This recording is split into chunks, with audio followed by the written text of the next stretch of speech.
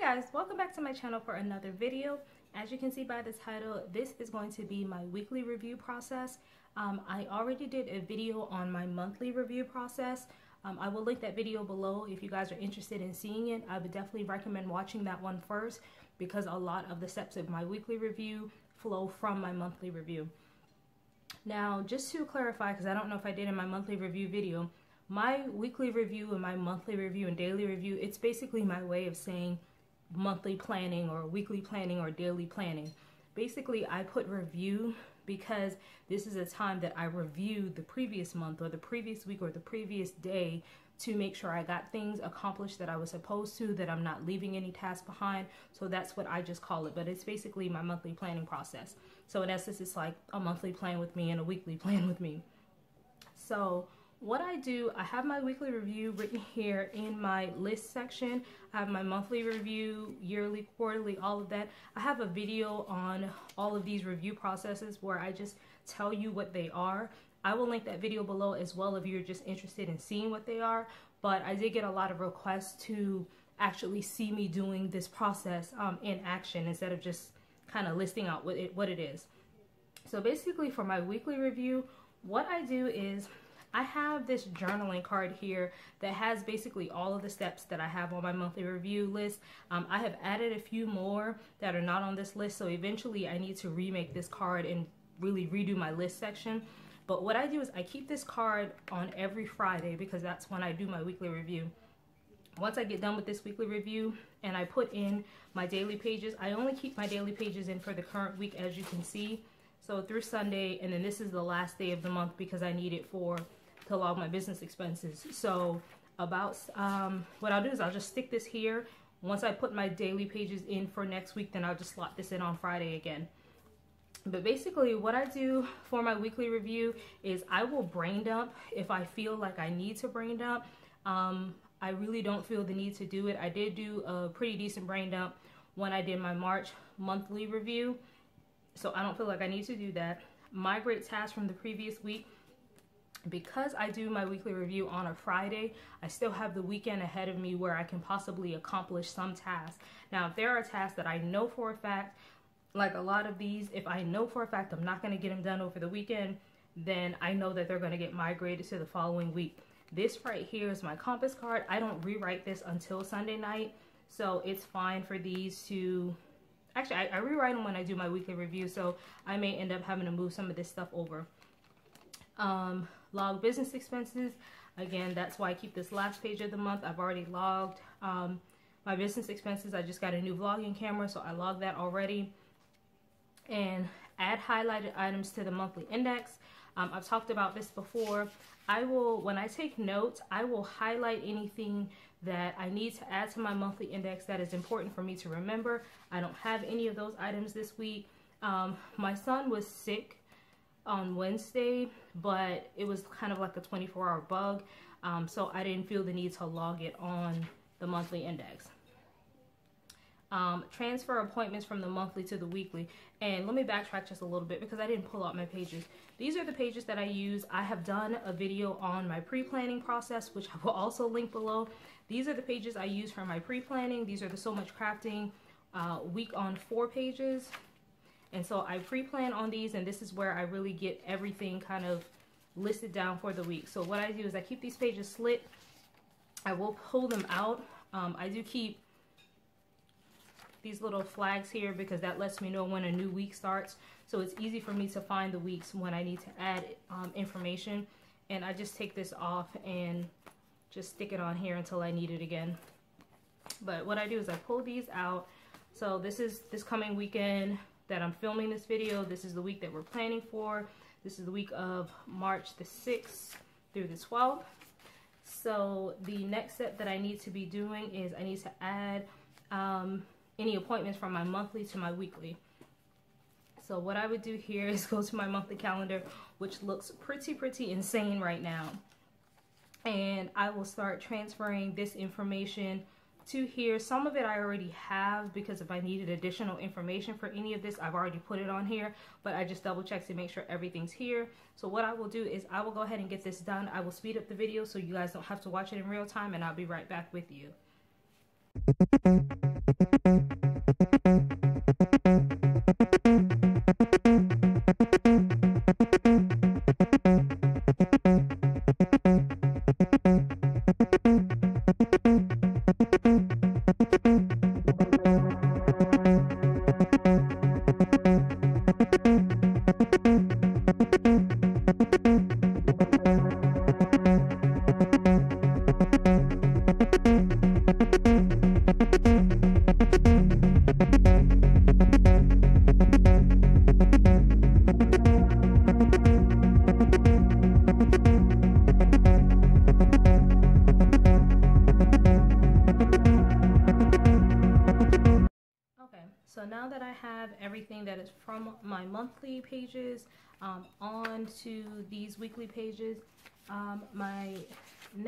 Step is to list any meals and prep that I need to do for the week.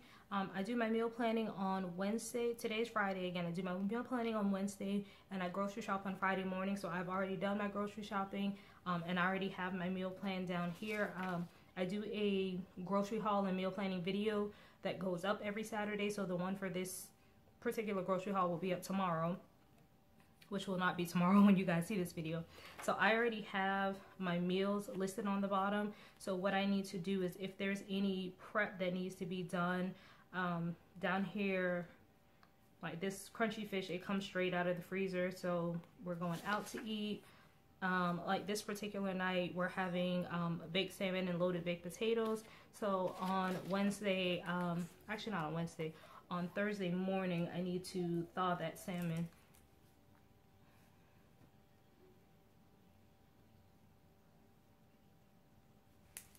and that is it. So this week is a pretty easy week as far as meal prepping and, cooking and things like that. Um, the next thing is to review my list and schedule tasks. Um, so the list that I have are my zone cleaning checklist um, my books for this month and my waiting for list. I don't have anything on my waiting for list. Um, I keep those all again in my list section. Um, I already know the books that I'm reading this month and I'm pretty much just focusing on one, so I don't need to put that in there. And I, am going to come back and do my zone cleaning list last because that is going to depend on a few other things that I need to do first. Um, transfer info from my school, my business, and my spiritual binder if necessary. Um, so I already have from my business binder that is the videos that I'm going to film this week. So I already have those listed out. Um, and I have some already on specific days that I need to film. From my spiritual binder, I'm still working on the same Bible study that I was working on for the past few weeks. So I don't need to get anything out of there. And for my school binder, same thing. I'm still working on the same class that I had been working on um, for a few weeks now, but there is some information that I need to get to see. Um, I have, I'm working on the next assignment for this particular class, so I do need to get some information out of my school binder for that. So this is my school notebook. Um, I will be doing a video on my setup. It's not very fancy or anything. It, I pretty much just take notes. Um, I don't do very much planning or anything in there. Um, but I did say I was going to do a video on it soon.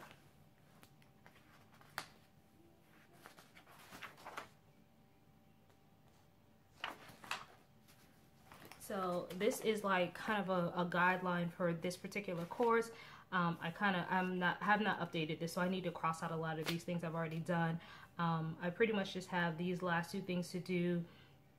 And so I'm kind of starting here is where I would be starting for the new week. So I need to list those things on my sidebar um, so I know what schoolwork I'll be focusing on this week.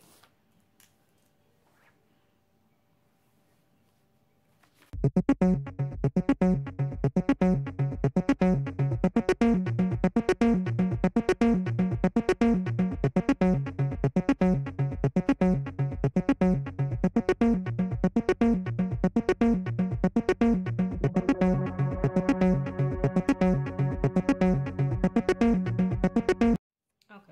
Is what I have to do for school this week. Um, it's really not that much. It's basically three chapters that I have to read, and it's one task that's broken up into multiple parts. Um, I like to break it down like this. It's, this is how it's actually broken down on the syllabus, but I like to break it down this way too because sometimes I might only be able to read one chapter. Um, sometimes I may only be able to read um, work on like part A1 and A2 for a task or I group them A1 through A3 so I can do the first three questions and then I can do the last three and then I can do some editing on it and submit it. So that's what I have to do for school this week. Um, and like I said, I've already got my videos that I need to film for my business binder, my spiritual binder. I'm still working on the same um, Bible study, so I don't need anything from there. Um, another thing that I do is I check the playdate calendar um, I already have the information, the play that my baby normally goes to is on Friday mornings, but I have a doctor's appointment and um, we have a teacher appreciation breakfast at my son's school, and I'm PTA vice president, so um, I will be there for that. So we won't be doing his morning library story time or play date. Um, and I've already checked there are no other play dates for this week. Um, I do have a mom's meeting though. The other thing I need to do is pull out my weekly routine list.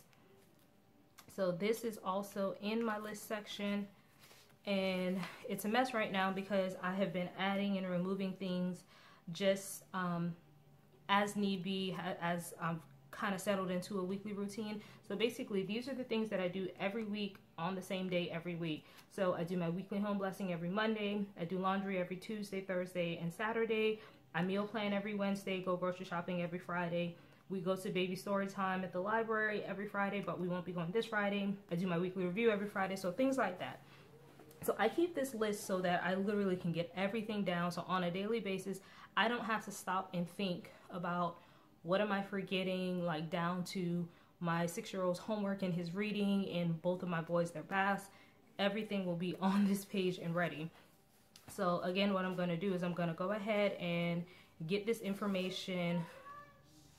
I'm to get this information on here and then I'll just fast forward it so you don't have to watch it in real time and then I'll get back with you.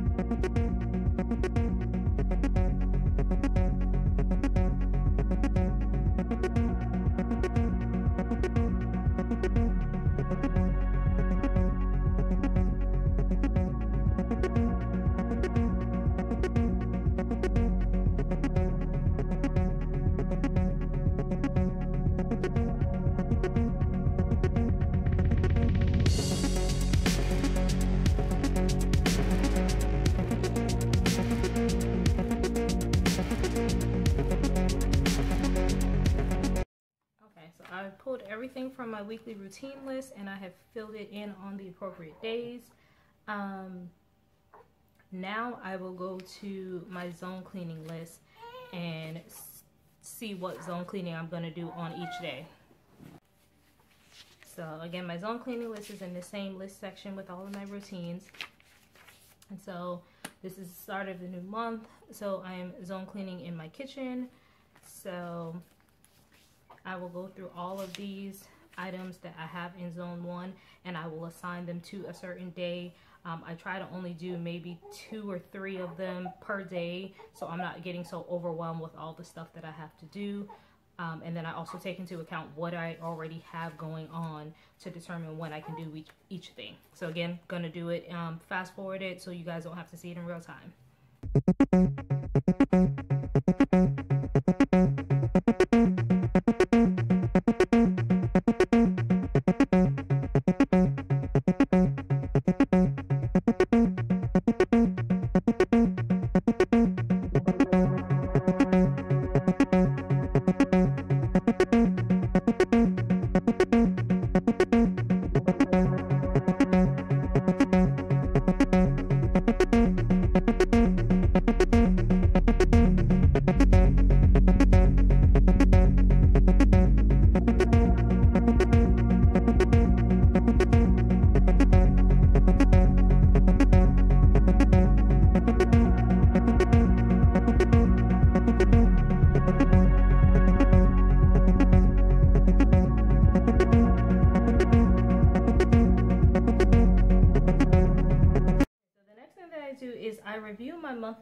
Goals and determine my roles and my big rocks for the week. Um, this is something that I am probably going to wait until Sunday to do. This is what I was referring to by this, um, my roles and my big rocks. Um, because again, I have until Sunday to complete these. So that will determine if I'm going to end up having to do some of these again next week. Um, same thing with the to-do list here. I know some of these I can just X out and I'm not going to do. Um, some of them I have done already and I just haven't checked them off. And then the rest of them, again, if I don't get them done over the weekend, then I'll start doing that on Sunday. So I kind of do this in two parts, but I really like to get started on Friday um, so I don't have to do the bulk of this over the weekend. So, but just to see what that whole process looks like on my monthly calendar, I keep my goals on the left hand side. So my goals um, were to have a financial planning meeting between me and my fiance, which we actually already did that, so I can check it off. Um, we want to have a date night out, so we need to see when we can get it scheduled. Um, I have some YouTube goals that I need to break down per week, and that would be something, again, that would end up on here um, under my role as content creator. And then these are goals I have for school. Um, these are the two classes that I want to finish this week. So once I finish all these, I will be done with one of the classes, and then I can start working on the other one and getting it done this, excuse me, not this week, but this month. Um, so again, these are the goals and that's what kind of determines these big rocks. These big rocks, I consider these my weekly goals. Um, then the next thing um, is to check the monthly task and project list and add any tasks for this week. So this is my monthly project pay or my projects for this month. These are my tasks for this month. Um, I would go through here and see pretty much the same way I do this. Any um, task that I have here that I think I can get done this week, I'll add it on here. Again, how many of these I can get done is going to depend on how many of these I get done over the weekend, which I think I am going to get a good bit done. So I'm going to have to hold off on that part as well until Sunday. Um, and the last thing that I do is I update my family calendar, which I actually just updated because it's the beginning of the month and when we sat down and we had our financial planning meeting, um, my fiance and I, I updated that whole family calendar. So basically, my family calendar that hangs on the wall looks exactly like this. Again, if you saw my monthly review process uh, video, then you will see when I did this and then when I did the same thing on my monthly calendar.